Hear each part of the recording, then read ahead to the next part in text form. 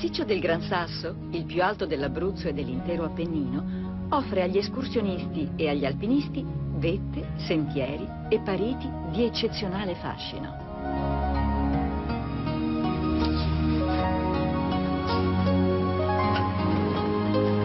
Molti degli itinerari più belli iniziano dal rifugio Franchetti, di fronte alle rocce del Corno Piccolo.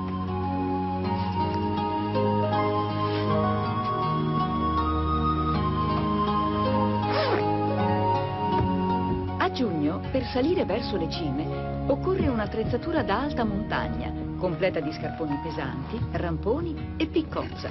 Il peso dello zaino si fa inevitabilmente sentire.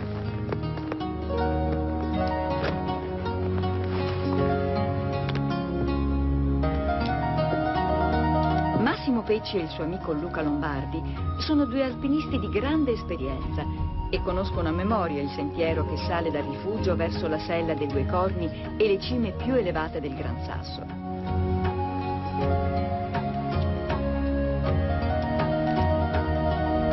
A luglio e agosto, ogni giorno, passano da qui centinaia di escursionisti. Le pareti e le torri calcaree del Corno Piccolo offrono agli arrampicatori una straordinaria scelta di itinerari su roccia solida e sicura.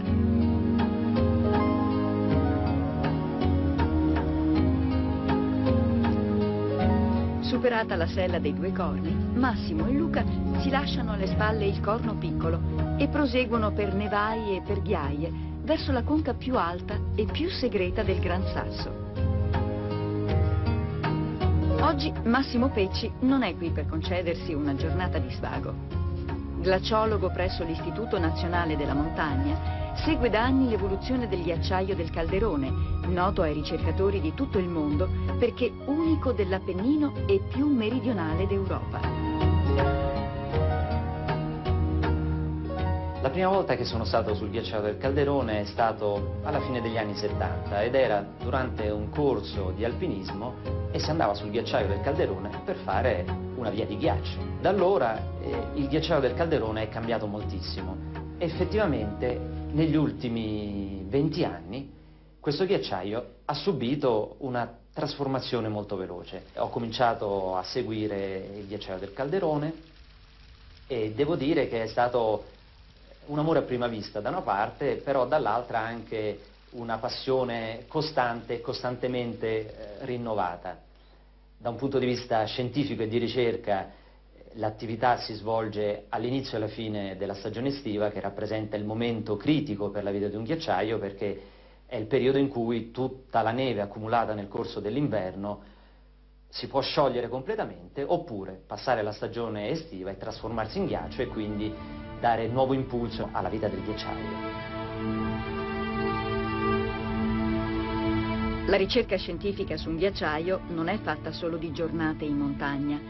Da anni nel suo ufficio di Roma, Massimo Pecci raccoglie e studia racconti di ascensione, disegni e fotografie che gli raccontano l'evoluzione del calderone dalla fine del Settecento ai giorni nostri.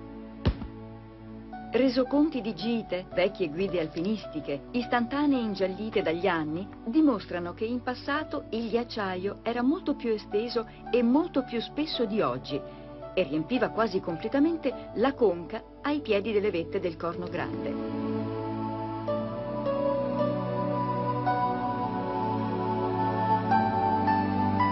Generazioni di escursionisti e alpinisti si sono stupiti nel vedere il grande pendio di neve e ghiaccio che saliva da 2600 metri di quota fin quasi ai 2912 metri della cima più elevata del massiccio.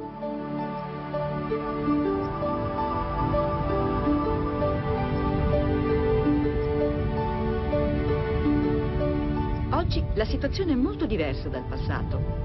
Anche tra maggio e giugno, nel momento di massimo innevamento, dalla neve che riveste il calderone affiorano lastroni di roccia e pietraie. La morena, che chiude il calderone, è il luogo migliore per effettuare un rilievo topografico della conca e quindi per verificare le trasformazioni della superficie del ghiacciaio.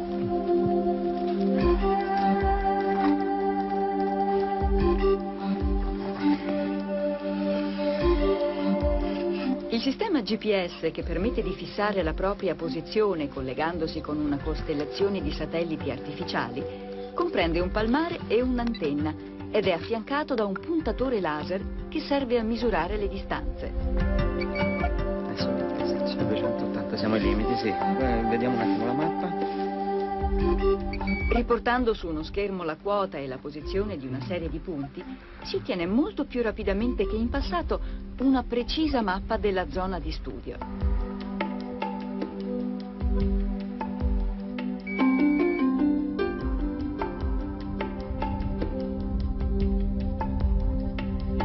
Per i rilievi successivi, un vero e proprio check-up delle condizioni ambientali del Gran Sasso, occorre spingersi nel cuore del calderone, dove lo spessore della neve e del ghiaccio è maggiore.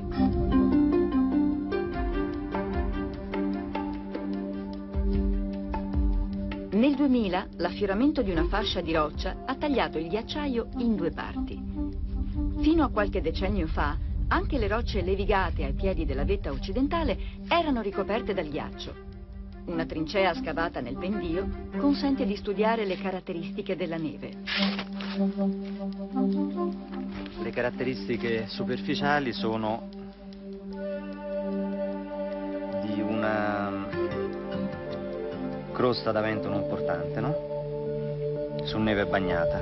Sotto la crosta superficiale appare della neve farinosa, seguita da strati via via più compatti man mano che si scende verso il basso.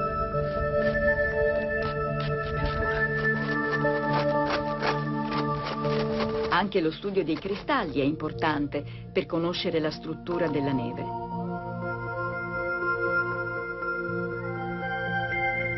Lo strato più superficiale dovrebbe cominciare a scendere. Seguono il controllo della temperatura e la verifica della densità, che si effettua prelevando mezzo litro di neve e pesandolo con una piccola bilancia.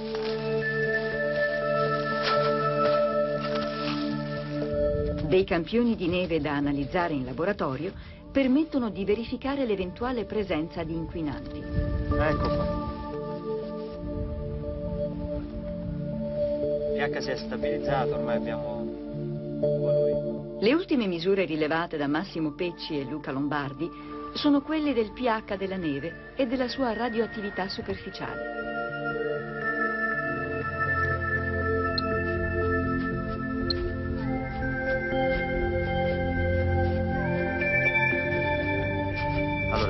Quota 2745, quindi fra queste due curve di livello.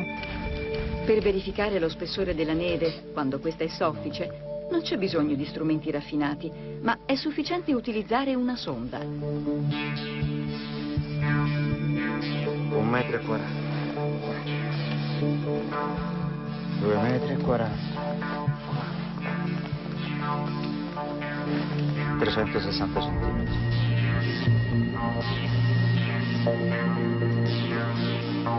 Il confronto tra le condizioni della montagna a giugno e a settembre è scioccante.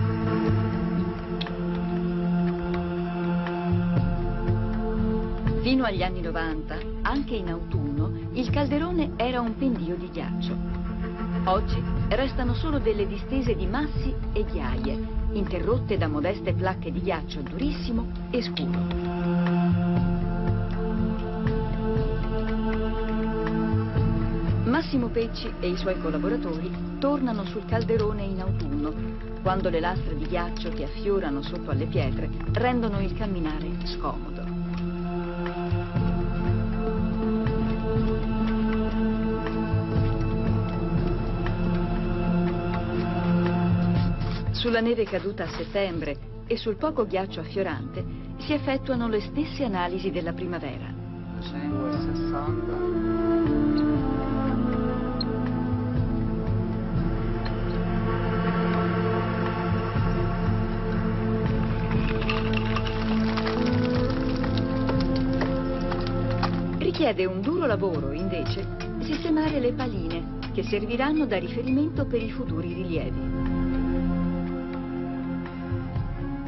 troviamo nella depressione del ghiacciaio del Calderone, laddove fino a solo dieci anni fa si formava un piccolo laghetto, il laghetto Sofia, dove si rispecchiavano tutte le cime così maestose e così belle che troviamo qua intorno. Proviamo a immaginare qua sopra di noi uno spessore di circa 50-60 metri di ghiaccio. Era la situazione che c'era in questo stesso posto una cinquantina di anni fa. Adesso di questo ghiaccio ecco, rimane quello che vediamo. Questo canyon anche alle mie spalle è la parte più esterna, terminale, di un inghiottitoio che all'esterno è sul ghiaccio e all'interno è un inghiottitoio di tipo carsico. Con la fine della stagione estiva e l'inizio dei primi rigori autunnali si chiudono le attività di rilievo sul ghiacciaio del Calderone e si chiude quello che viene definito il bilancio di massa glaciale, fare un bilancio rispetto all'accumulo invernale di tutta la neve che si è sciolta oppure accumulata durante l'anno e in particolare è riuscita a sopravvivere all'estate.